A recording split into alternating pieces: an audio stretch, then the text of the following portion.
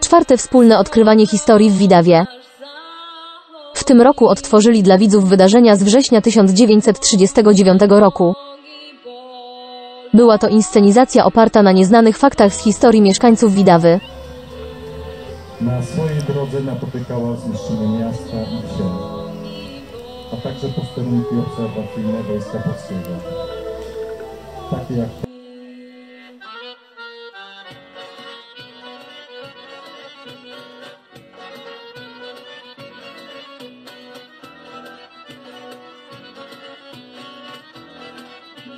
Polscy żołnierze w czasie kampanii wrześniowej dzielnie bronili Widawę.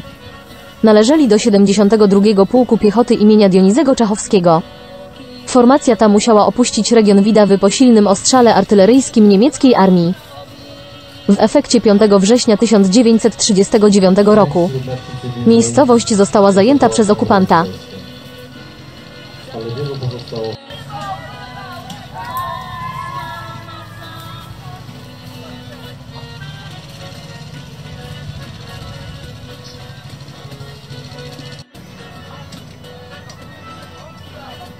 Gdy armia niemiecka wkroczyła do Widawy, zaczęły się przeszukiwania.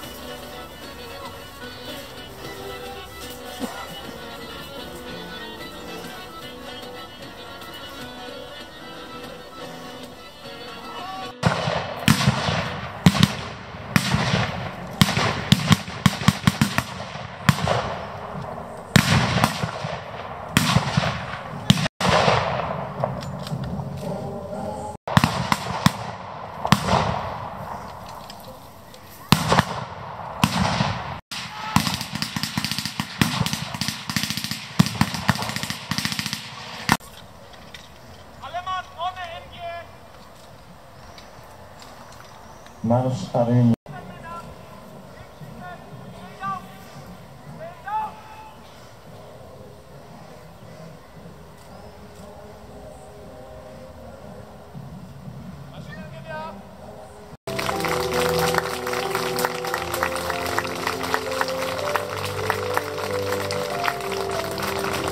zostały z projektu Urzędu Gminy Widawa pod nazwą Propagowanie kultury sztuki oraz produkcji historii regionu wśród dzieci, młodzieży i mieszkańców.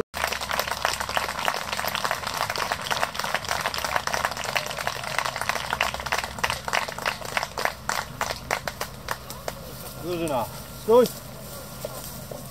Lewo, wróć.